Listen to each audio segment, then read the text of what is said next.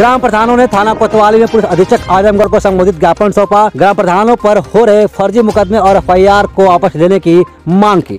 ग्राम प्रधानों की अपील नहीं सुने जाने पर सभी गाँव के ग्राम प्रधान देंगे इस्तीफा। आजमगढ़ जनपद के शहरी क्षेत्र के आजमगढ़ ब्लॉक के ग्राम प्रधान संघ के अध्यक्ष सहित सभी गाँव के ग्राम प्रधानों ने थाना दियरपुर कोतवाली प्रभारी निरीक्षक दिनेश यादव को एसपी को संबोधित ज्ञापन देकर अपील की कि ग्राम प्रधानों पर जिस तरीके से फर्जी मुकदमा एफआईआर दर्ज कराया जा रहा है उस पर रोक लगाई जाए और जितने भी ग्राम प्रधानों के ऊपर फर्जी मुकदमा एफआईआर किया गया है, उसको वापस ले। जिस तरीके से काजी डिगवनिया, नारायणपुर और मेरई खास गाँव के ग्राम प्रधानों पर फर्जी मुकदमा दर्ज किया गया है, हम सभी ग्राम प्रधान इसका विरोध करते हैं और मुकदमे को वापस लेने की मांग करते हैं। ब्लॉक प्रमुख प्रतिनिधि मनीष मिश्रा और प्रधान संघ के अध्यक्ष वीरेंद्र यादव ने बताया कि प्रधानों पर गलत तरीके से एफआईआर दर्ज किया गया है, जिसके चलते प्रधान डरे और सामे हुए हैं। इसकी दोबारा जाँच कराई जाए। अगर प्रधानों का उत्पीड़न बंद नहीं हुआ तो हम लोग सामूहिक इस्तीफा देने के लिए बाध्य होंगे। गाँव का प्रधान गाँव का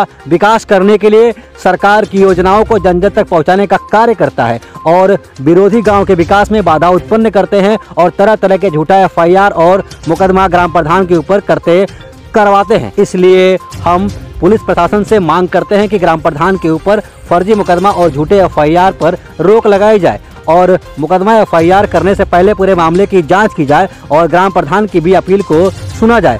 अगर हमारी मांगे नहीं पूरी की जाएँगी तो पूरे 101 गाँव के ग्राम प्रधान इस्तीफा दे देंगे। इस अवसर पर ग्राम प्रधान संघ अध्यक्ष वीरेंद्र यादव, ब्रजेश यादव, ग्राम प्रधान सुमेश यादव, मोहम्मद रिजवान, अरविंद सिंह व अन्य सभी गाँव के ग्राम प्रधान मौजूद रहे।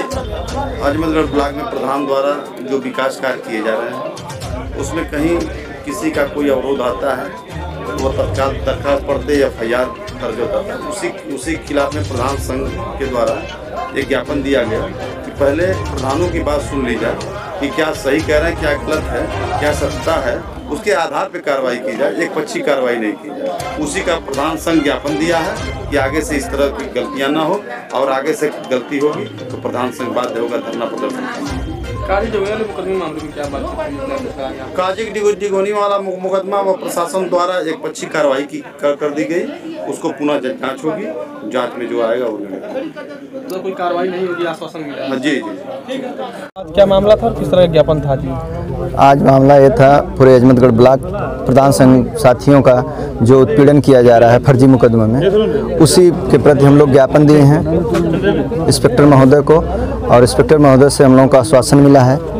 यही कि न्याय हम लोग यही है कि हमारे दोषी हैं तो कार्रवाई हो न दोषी हैं तो कोई कार्रवाई ना हो। अब हमारे खिलाफ हम चक्रोट का निर्माण कर रहे हैं नाली का निर्माण कर रहे हैं कोई निर्माण हम कर रहे हैं सरकारी योजना का।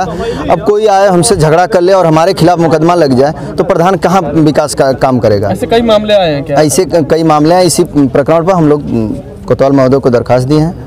और वो हम लोगों की बात सुने हैं और आश्वासन भी दिए हैं कि ऐसी उत्पीड़न नहीं होगी। जाँच करा ली जाएगी दोषी के खिलाफ कार्रवाई की कितनी मांगे थी उसमें? उसमें काजी डिगोनिया की भी थी अमवारी नारायणपुर और मैं गई खास की और भी दो तीन ग्राम पंचायतों का दरखास्त पड़ा कठैचा का भी दरखास्त पड़ा था। तो कोई व्यक्ति आता है खालिशपुर का भी आरोप है कई व्यक्ति प्रधान का कोई आया दरखास्त दिया तो उसकी बात प्रधान की भी बात सुन ली जाए अगर प्रधान गलत है तो उसके खिलाफ कार्रवाई उसमें कोई दिक्कत नहीं। अच्छा मान लीजिए आपकी मांगों को नहीं माना जाता है अगर फिर भी प्रताड़ित होते रहेंगे प्रधान तो क्या करेंगे आप ये हम दरखास्त के माध्यम से कोतवाल साहब को अवगत कराए हैं। अगर नहीं मांग मानेंगे तो हम लोग अनशन करेंगे उससे नहीं मानेंगे हम सामूहिक एक सौ एक प्रधान इस्तीफा दे देंगे।